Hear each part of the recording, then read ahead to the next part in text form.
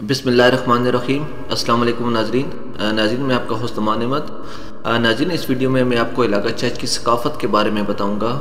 کسی بھی ملک یا قوم کی تہذیب و تمدن کا اندازہ اس ملک میں بسنے والے لوگوں کی روایات، مذہب، زبان، خیالات، عقائد، اخلاقیات اور رسومات کام کرنے کے طریقے اور قانون سے لگایا جا سکتا ہے۔ کسی بھی ملک میں بسنے والے لوگوں کے یہ تمام رویے مل کر مجموعی طور پر اس ملک کی ثقافت بناتے ہیں۔ تاہم ہاں، ثقافت کا خود کوئی وجود نہیں ہوتا کہ ہمیشہ لوگوں کے عقائد اور نظریات کی محتاج رہتی ہے۔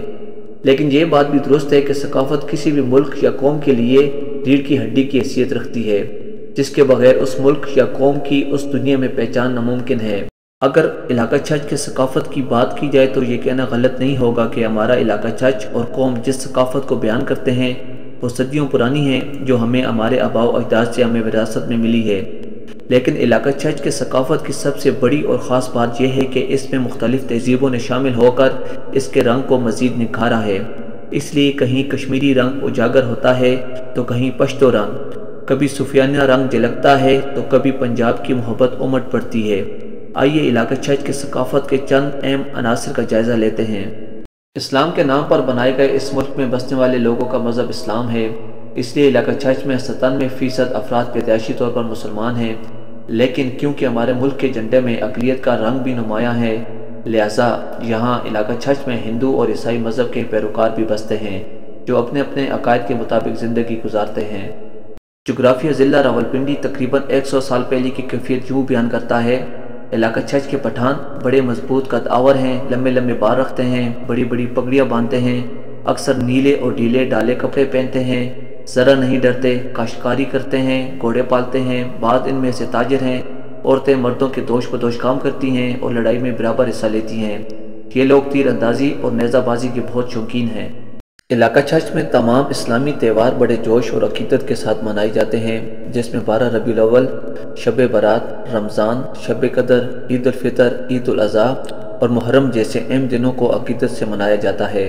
اس کے علاوہ دوسرے مذاہب کے بسنے والے لوگ بھی علاقہ چرچ میں اپنے تہوار مناتے ہیں، جسے کرسمس، ہولی اور دیوالی کہا جاتا ہے۔ اس کے علاوہ قومی تہوار بھی پورے جوش اور ولولے سے منائے جاتے ہیں، جس میں یوم پاکستان تیئیس مارچ، یوم آزادی چودہ اگست، ڈیفنس ڈے، چھ ستمبر، قائد کی ولادت پچیس دسمبر منائی جاتی ہے۔ اور ان تمام دنوں میں ملک بھر میں سرکاری تعطیلات بھی ہوتی ہیں۔ علاقہ چھچ کے نوجوان کاندوں پر چادر بدستور رکھتے ہیں۔ نوجوان چارخانہ چادر استعمال کرتے ہیں، جسے مقامی زبان میں لنگ کہا جاتا ہے۔ عموماً سعودی عرب ممبئی ہانگ کانگ، دبئی اور جنوبی کوریا کی چادریں زیادہ پسند کی جاتی ہیں۔ پاؤں میں تلے دار چپل، پشاوری چپل یا بوٹ ہوتے ہیں۔ اور اس کے علاوہ یہاں کی مستورات ہریالی رنگ کی چادر اوڑھتی ہیں۔ اس پر برے رنگ کے بڑے بڑے نقطے ہوتے ہیں۔ اسے مقامی زبان میں چھیل کہا جاتا ہے۔ اور یہاں کی عورتیں پردوں کو بہت زیادہ پسند کرتی ہیں۔ انگریز ڈپٹی کمیشن اٹک کالن کار بھٹ کو پردے کے پابندی کے بارے میں اپنے کتاب دوستوں کا دوست فرینڈ آف فرینڈز میں یوں لکھنا پڑا، علاقہ چھچ کے پٹھان پردے کے اتنے سخت پابند ہیں کہ وہ سامنے شمال مغرب کی طرف گاؤں کے لوگوں نے مجھے گھوڑے پر سوار ہونے سے روکا، کیونکہ گھر کے سین میں ان کی عورتوں کی بے پردگی ہوتی ہے۔ چھچ کے لوگوں کے رسم و رواج تقریباً وہی ہیں جو درائے سندھ کے پار صوبہ سرحد والوں کے ہیں۔ ہر گاؤں یا محلہ میں ایک حجرہ ہوتا ہے، جس کے ساتھ ایک بڑا سین ہوتا ہے یہ مردوں کے بیٹھنے کی جگہ ہوتی ہے۔ ہر اجرے میں ضرورت کے مطابق چار پائیاں اور بستر پڑے ہوتے ہیں۔ چلم تماکو اور پانی کا گڑا بھی ہوتا ہے۔ حجرہ گاؤں کی سیاسی اور مجلسی زندگی میں اب بھی اہم کردار ادا کرتا ہے۔ محلے کے چھوٹے بڑے لوگ حجرے میں بیٹھتے ہیں۔ حجرہ عدالت کا کام بھی کر دیتا ہے۔ جب گاؤں کے بزرگ مل بیٹھ کر چھوٹے موٹے مقدمات کا فیصلہ کرتے ہیں۔ علاقہ چھچ کے لوگ غم و خوشی میں برابر کے شریک ہوتے ہیں۔ خوشی کے موقع پر عورتیں ڈھول بجاتی ہیں اور گانا گاتی ہیں۔ اسے ٹورے کی رسم کہا جاتا ہے۔ بعض اوقات مہندی کی رسم ادا کی جاتی ہے۔ دولہا اور اس کے چند مخصوص رشتہ داروں اور دوستوں کو دودھ پلایا جاتا ہے۔ جس کے عوض دودھ پینے والے اپنی اپنی حیثیت کے مطابق دودھ کے گلاسوں میں نقدی ڈالتے ہیں۔ ولیمہ کے دن بھینسیں ذبح کی جاتی ہیں، جنہیں مٹی کے بڑے بڑے کٹووں میں پکایا جاتا ہے۔ یہ گوشت نہایت لذیذہ ہوتا ہے۔ بارات کے وقت چائے، مٹھائی پیش کی جاتی ہے۔ کلاشن کوف کی فائرنگ کے بغیر شادی کی تقریبات ادھوری سمجھی جاتی ہیں۔ پہلے پہل شادی کے موقع پر نیزہ بازی اور تیر اندازی کے مقابلے منعقد ہوتے تھے۔ اور غم کے موقع پر اگر علاقہ چھچ میں کسی گاؤں میں کسی کی موت واقع ہو جائے تو اپنے برائے کفن دفن میں مدد کرتے ہیں۔ لوائقین اور مہمانوں کو میت کے عزیز و اقارب کم از کم تین دن تک باری باری کھانا بیچتے ہیں۔ عام لوگ اصول ثواب کے لیے ہر جمعرات جمعہ کے دن حسب توفیق خیرات کرتے ہیں۔ بعد میں چالیسواں کیا جاتا ہے۔ بعض اوقات غربا مساکین میں نقد، رقم اور کپڑے تقسیم کیے جاتے ہیں۔ اس طرح خیرات کی رقم مدرسہ، مسجد اور رستہ ٹھیک کرنے پر بھی لگائی جاتی ہے۔